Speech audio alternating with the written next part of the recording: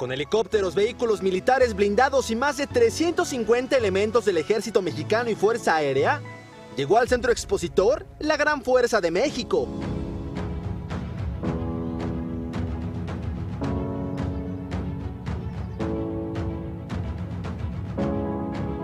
Esta exposición es un evento de acercamiento social que realiza el Ejército y Fuerza Aérea Mexicanos, eh, en el cual se invita a la población a que venga a ver las actividades que realiza la Secretaría de Defensa Nacional en beneficio de la población.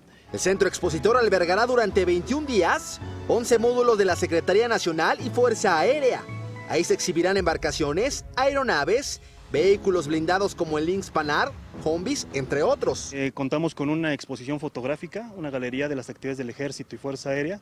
También tenemos un domo audiovisual en el cual el- la población va a poder observar algunas de las actividades que realizamos. Eh, también los niños van a poder este, ingresar a una tirolesa. Y tenemos una pista de obstáculos infantiles en la cual los niños van a poder ingresar y este, hacer las actividades que realizan los soldados de México eh, con su adiestramiento. Además, los poblanos podrán escuchar experiencias de los elementos del ejército mexicano relacionadas al plan de contingencia, ayuda a la población civil y conocer cómo realizan los viveros y granjas militares. Nos sentimos muy orgullosos, la verdad nos sentimos muy complacidos de recibirlos, porque bueno, para nosotros es muy satisfactorio saber que el pueblo de México nos acepte, ¿no? Como parte de ustedes y que convivan con nosotros. La niñez mexicana es la que más nos, nos motiva a venir, esa es la realidad.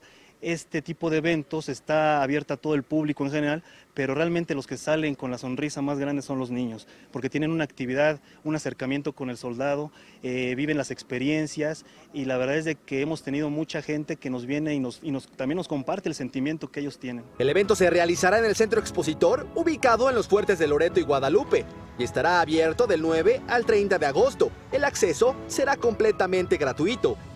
Héctor Gamboa, Imagen Noticias Puebla.